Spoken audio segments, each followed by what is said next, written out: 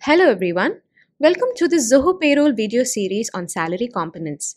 In this video, we will look at the flexible benefit plan component and the working of the same in Zoho Payroll. Before getting started, let us understand about flexible benefit plan.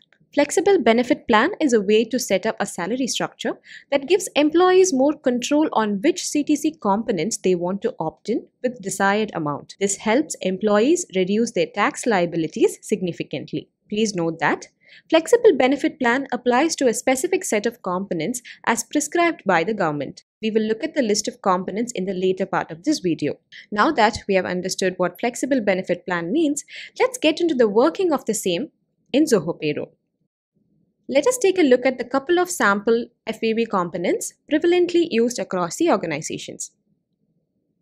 One is leave travel allowance and research allowance. Let us take a look at it one by one. Leave travel allowance is a type of allowance exempted from tax which is provided to the employees for traveling on leave. Let us see how to create leave travel allowance in Zoho Payroll. Navigate to Settings, Salary Components, Add Component. Here, choose the earning type as leave travel allowance. Once chosen, enter the earning name and the name in payslip as applicable.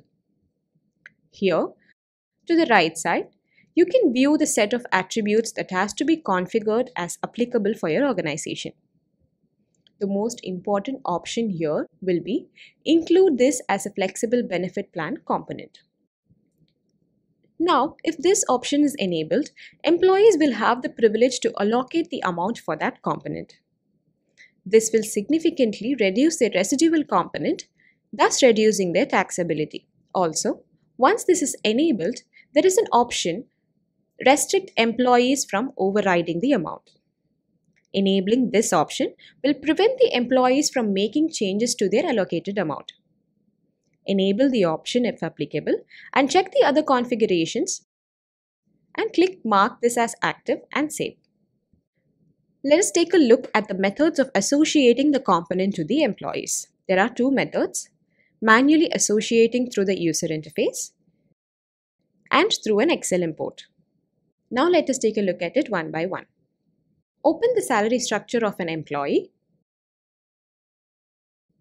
Scroll down under FBP components, you will have this component available. Enable the tick box on the left side of the component and enter the amount as applicable for that employee and click Save. Also, you can import the same using an Excel file. While preparing the salary structure, you need to add three columns, namely Leave Travel Allowance. Here, you will enter the actual amount that is applicable for this employee. Next, leave travel allowance is enabled. Here, you will enter yes or no based on the applicability. Next, leave travel allowance maximum amount.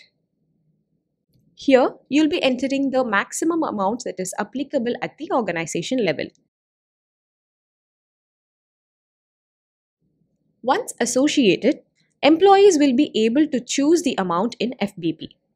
Also, the yearly amount for leave travel allowance can be declared under the Other Allowances section of the IT declaration in order to get the necessary exemptions.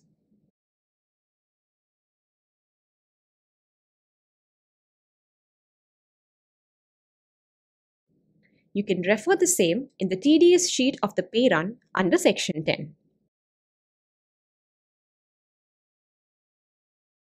Pro tips. Please ensure to choose the earning type as leave travel allowance. Only travel expenses will be reimbursed. Reimbursement amount is calculated based on the shortest distance between the two places. Reimbursement can only be availed twice in a block of 4 years. If you don't make two trips within the designated 4 year block, then one year trip will be carried over to the next block. However, you would have to make the trip within the first year of that block. Amount availed as leave travel allowance is fully exempt from taxes. Next, let us take a look at how to configure research allowance. research allowance is granted to meet the expenditure on academic research and other professional pursuits. Let us see how to create research allowance in Zoho Payroll. Navigate to Settings, Salary Components, Add Component. Here, choose the earning type as research allowance. Once chosen, choose the earning name and name in payslip. Here, to the right side, you can view the set of attributes that has to be configured as applicable for your organization. The most important option here will be include this as a flexible benefit plan component.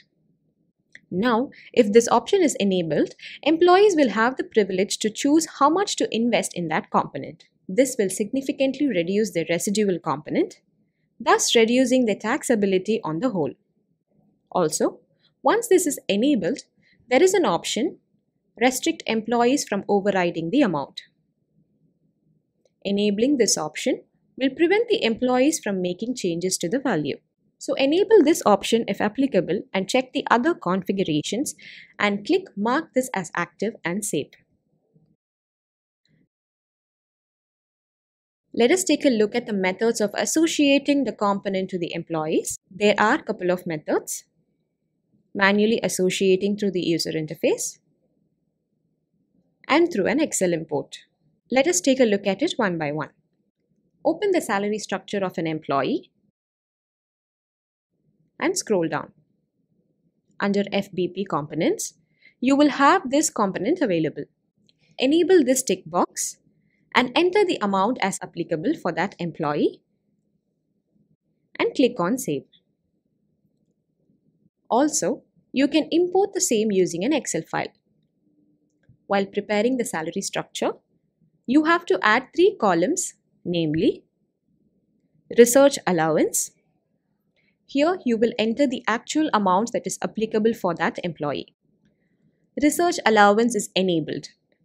Here you will enter yes or no based on the applicability. Finally, Research Allowance Maximum Amount. Here, you will be entering the maximum amount that is applicable at the organization level. Once done, you can import the same structure. Once associated, employees will be able to choose the amount in the flexible benefit plan. Also, the yearly amount of research allowance can be declared under the Other Allowances section of the IT declaration to get the necessary exemptions. You can refer to the same in the TDS sheet of the pay run under section 10.